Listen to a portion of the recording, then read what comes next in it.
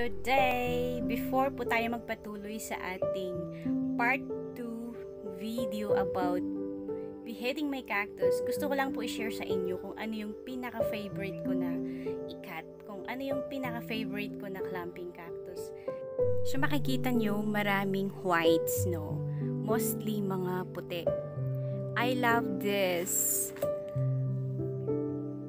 Parudia white scopa. Kasi gusto ko yung pagka-compact ng spines niya. It's white.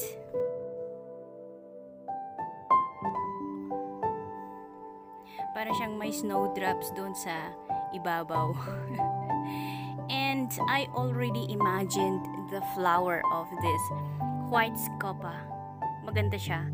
Medyo mid-size na yellow, yellow color.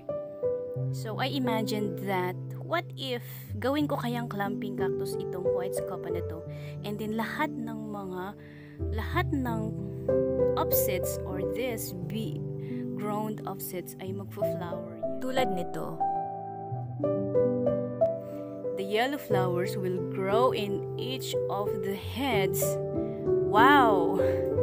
So I, I, I told myself before na ganun. I like that result. That's why pinutol-putol ko na sila. Anyway, hindi ko pa po pinakita yung technique of my cutting on white scopas. Malalaman nyo rin on the preceding videos. Ayan. So maybe sa part 4 na po na video on how to behead your cactus on beheading your cactus. Doon mo siya makikita. Alright, so yan white scopas. So as you can see maraming white scopas. Ayan, ilan yan. Kasi favorite ko talaga yan.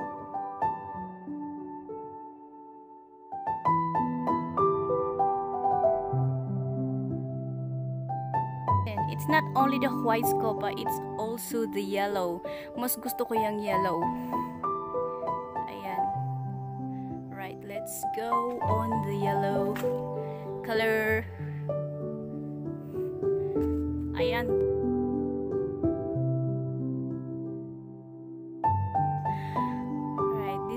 The yellow scopa. I also love this. Pero alam nyo ba, mas mahirap i-clamp ang yellow scopa kasi very slow grower ito na parudia. Yan, so napakaganda niya. Tulad nito.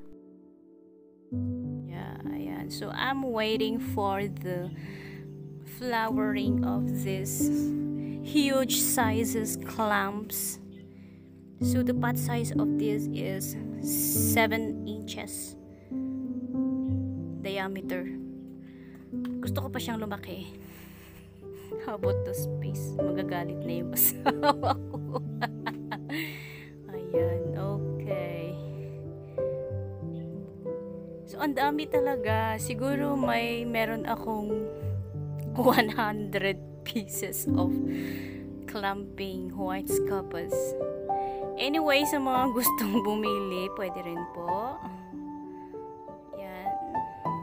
Sa mga mahilig sa puti. Ayan. And, paborito ko din po ang Old Lady or the Ayan. Mamilaria haniana clamps. Ito yung hindi siya masyadong mabalahibo. Pero yung isa doon, mas mabalahibo siya. Here.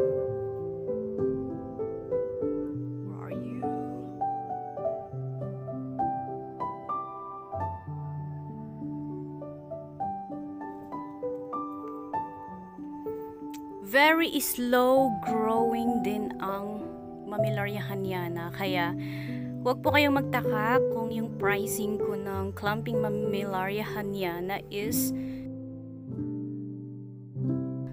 medyo high-end. Hindi naman napaka, pero medyo mas mahal dun sa ibang clumpings. Kasi napakahirap mag-alaga niyan.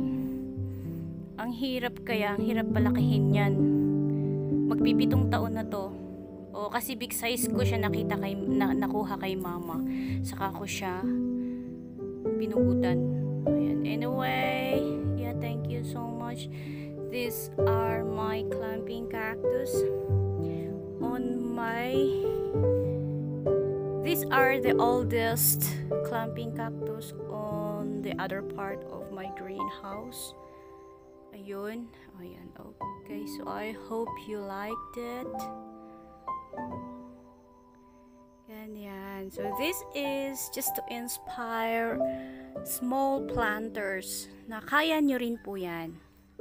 Kayang-kaya nyo rin po yan. As long as you have your passion, your dedication to grow your plants. So, ako, hindi lang po yung profit ko, yung ina-after ko on growing my cactus.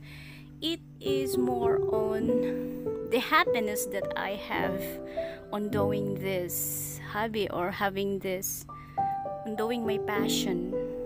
So, I really have the passion. More on passion talaga. So, it's not only the profit behind it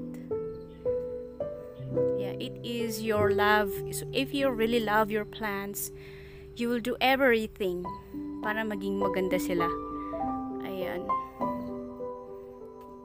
okay so I hope you like it. It's more on white scapas